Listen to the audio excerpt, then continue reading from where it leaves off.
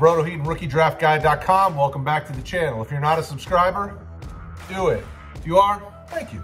Let's hit a like. Let's get to 200 likes on this video. And don't forget to check out RookieDraftGuide.com.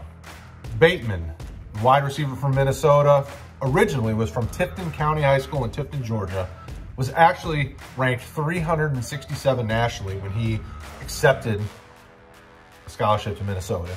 Uh, he came in as a four-star prospect and, and really produced quite well. You know, obviously Minnesota's seen a lot of change over the years and, and now with PJ Fleck and his staff there, uh, things are looking like they're moving in the right direction.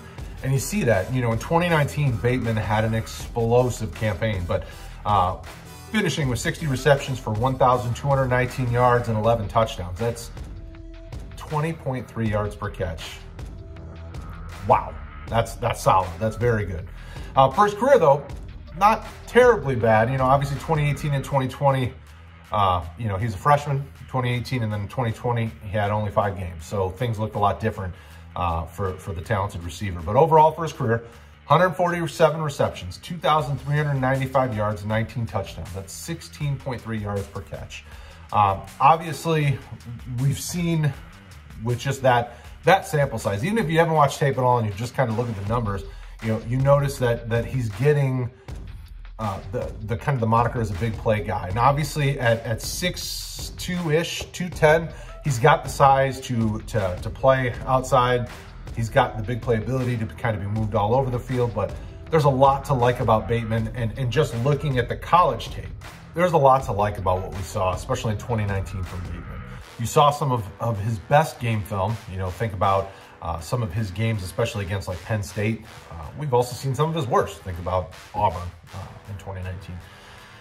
Bateman definitely is going to be drafted early, probably a day two pick, most likely. Uh, obviously, 2020 with the COVID situation kind of shortened his season and only gave him five games of tape for this year. But 2019 really gave us uh, a perfect picture of who Rashod Bateman is as a wide receiver. Uh, he is very solid route runner. Um, with Minnesota, you saw them do a lot of RPOs, a lot of run pass option stuff, and he does a good job finding his quarterback, following his quarterback if the play breaks down. Uh, he's got enough uh, dog in him to, to be willing to be physical, you know, whether it's blocking or just being physical at the point of the catch, physical with the corners, getting off in his release. Uh, you put all that together, you really see a wide receiver that is kind of under the radar right now. Obviously, everybody knows about the, the big names, the Ja'Marr Chases and Waddles and Smiths of the world, but Bateman's kind of in that next tier of receiver that should be a very early pick in your rookie draft. Should be, you know, uh, depending on your league type, probably late first uh, rookie pick, probably late first, early second at the latest. Latest. The team is, is when we look at how the team feels about him, the team feels pretty high about him. You know, you have to go to rookiedraftguide.com to find out exactly where we have him and what our ratings and, and the team's comments are. But when I put these together, I go through each and every each and every uh, evaluator's information and I compile it all together. And, and the takeaway I have from them is great hands, great route runner. Need some time to get up to speed, a bit more of a, a big YAC guy and, and, a, and a big play guy, but he has to get some time to build up to that.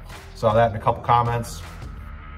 I'm excited about Bateman's prospects when you move to the NFL level. I really think, personal opinion, you could see a Justin Jefferson type thing where he's not one of the top receivers taken, but he has a big, you know, first or second season and really shows you um, that he is a force. You know, he may not be the the number one receiver on a team, uh, but he you know, much like a like a Corey Davis type role, if he's paired with another nice receiver, you know, just like we saw with uh, Justin Jefferson and Adam Thielen, he can really be successful.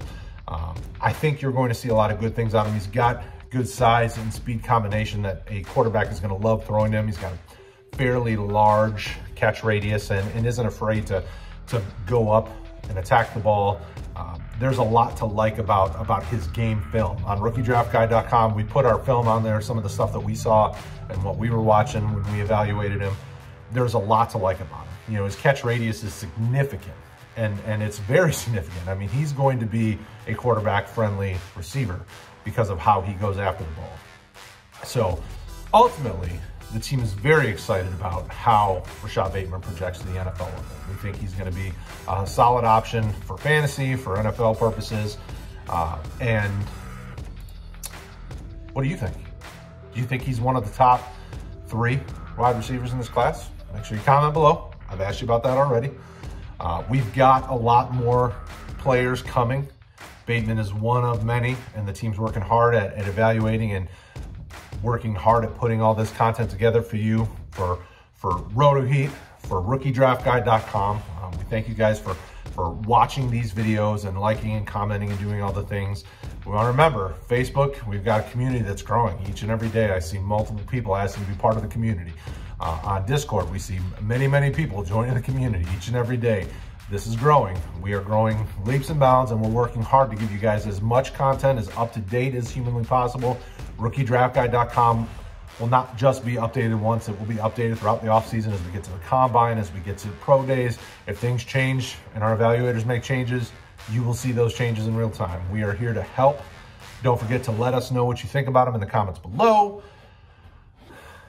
And we'll talk to you guys again next time.